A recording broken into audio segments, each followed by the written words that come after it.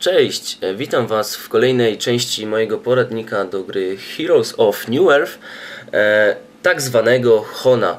W poprzednim, w poprzednim odcinku mówiłem o tym, e, czym w ogóle jest ta gra i jak po odpaleniu zachować się w menu. Takie całkowite podstawy, no mam nadzieję, że, że troszkę to pomogło. W tym odcinku chciałem zaprezentować Wam już konkretne wejście do gry, jak się zachować w grze i w jaki sposób się kontroluje naszą postać oraz e, walkę na linii e, z creepami. Dobra, no to może zacznijmy i lecimy.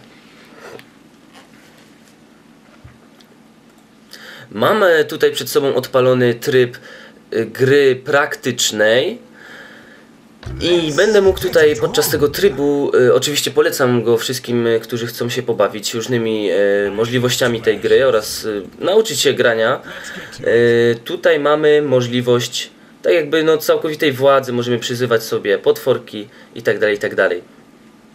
E, Przed każdą grą jest taki czas przygotowania. Nie pamiętam, czy on wynosi 2 minuty, czy półtora minuty. Chyba, że zależy to dokładnie od wybranego trybu gry. Moim zdaniem chyba półtora minuty dokładnie. Mm, Podczas tego czasu oczywiście wszyscy y, powinni się zaopatrzyć w jakieś podstawowe itemy. Tutaj sklep lewym przyciskiem myszy y, można kliknąć na niego i wybieramy spośród odpowiednich e, działów. Y, Ułatwieniem jest to, że dodali twórcy gry mm, zakładkę Starting Items, także jest to już podpowiedź, które itemy mamy na początek kupić. Prawym przyciskiem myszy e, klikamy i kupujemy te itemy. Także e, o itemach nie będę się za dużo rozpowiadał, każdy musi się nauczyć. E, W tym miejscu mamy przykładową, przykładowy bullet, jaki powinniśmy dla tej postaci mieć. Oczywiście możemy się zasugerować, o w tym momencie słyszymy e, s, 10 sekund przed rozpoczęciem powinniśmy rozsłyszeć hymn, trąbki i w tym momencie startują już, jak widzicie, e, potworki, tak zwane creepy. Czym są właśnie te creepy? Jak widzicie, mapa jest podzielona na trzy linie. e, Na każdej z tych linii co jakiś czas e, będą się ukazywać fale tych potworków i w pewnym momencie one będą się spotykały i walczyły ze sobą. Tak jak na przykład w tym momencie na środku, na dole i u góry też się troszkę później spotkały. E, Po co to jest? E, Creepy walczą ze sobą. Są potrzebne przede wszystkim do wbijania e, punktów doświadczenia oraz zdobywania pieniążków na początkowym etapie. W późniejszym etapie zdobywa się pieniążki poprzez ubijanie naszych przeciwników. Co teraz chciałem zaprezentować? Jak widzimy, mapa jest podzielona na trzy linie. Górna linia jest nazywana top, e, środkowa mid i naj, e, najniższa dolna linia jest nazywana bot lub bottom. Oczywiście są to wszystko skróty e, od języka angielskiego. Znaczenia tych słów w języku angielskim. Co ja teraz robię? Słuchajcie, przed naszą postacią oczywiście kieruję się poprzez naznaczenie i prawym przyciskiem myszy wskazywanie. Wtedy ta postać chodzi. E, co teraz zrobimy? Jeżeli postać postawimy przy potworku, proszę zobaczyć, i ją zostawimy swobodnie, ona automatycznie, mm, tak zwany autoatak jej się włączy i będzie automatycznie atakować potworki. Jednakże gdy nasz ostatni potworek obok nas zginie, wtedy mamy duże prawdopodobieństwo, że te potworki, y, creepy nas y, przerzucą się na nas. Dobra, co jest bardzo ważne podczas podczas walki na midzie.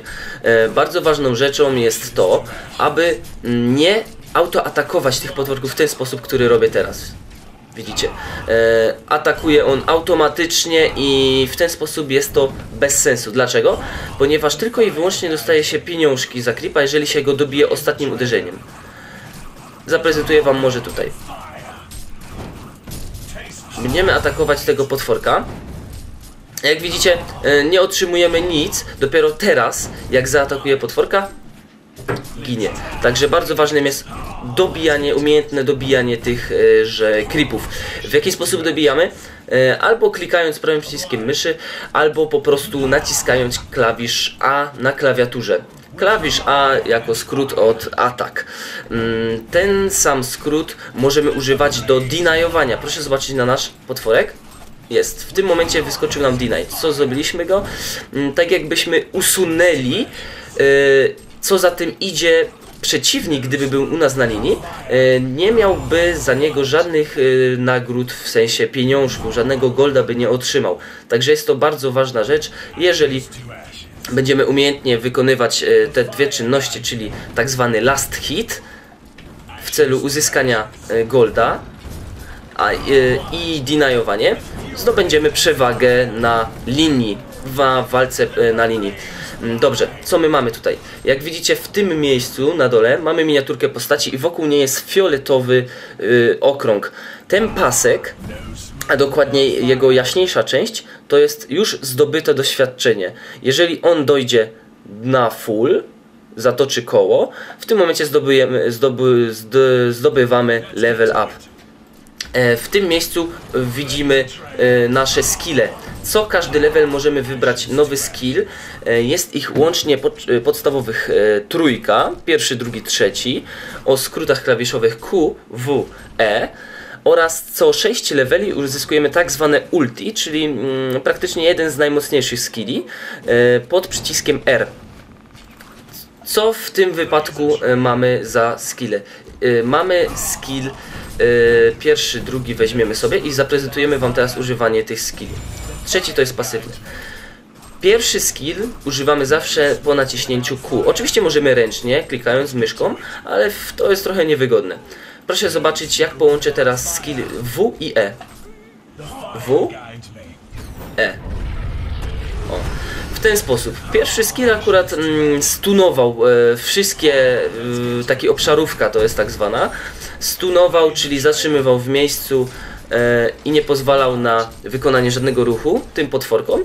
A pie, pierwszy skill to po prostu tworzył taką falę ognia, zadając duży, duże obrażenia. Proszę zobaczyć jeszcze raz. W, E. Także e, jeżeli będziemy łączyć nasze skille, oczywiście będziemy mm, tym bardziej mocniejsi. E, czym są. E, a, jeszcze tak, tutaj bardzo ważna rzecz jest e, nasze życie, zielony pasek i niebieski mana. Oczywiście życie, wiadomo, jeżeli dojdzie nam do zera, wtedy giniemy i pojawiamy się przy fontannie. E, Natomiast mana jest potrzebna do używania różnych skilli i czarów. No tak jak to przed chwilą było, widzicie, mam 200, używam i w tym momencie już schodzę niewiele powyżej stówy.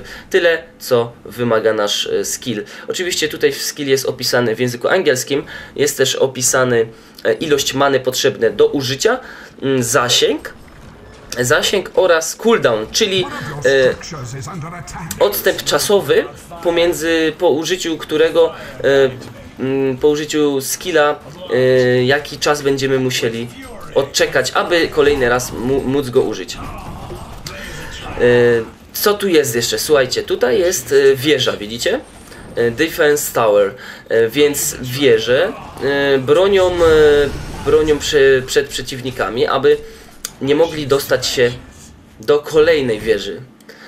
A co za tym idzie po rozwaleniu pierwszej, drugiej i trzeciej, dochodzimy już do struktur bazy głównej, gdzie znajduje się w przypadku Hellborn, czyli mm, tych diabełków, e, tron, a u nas jest mm, drzewo świata, World Tree.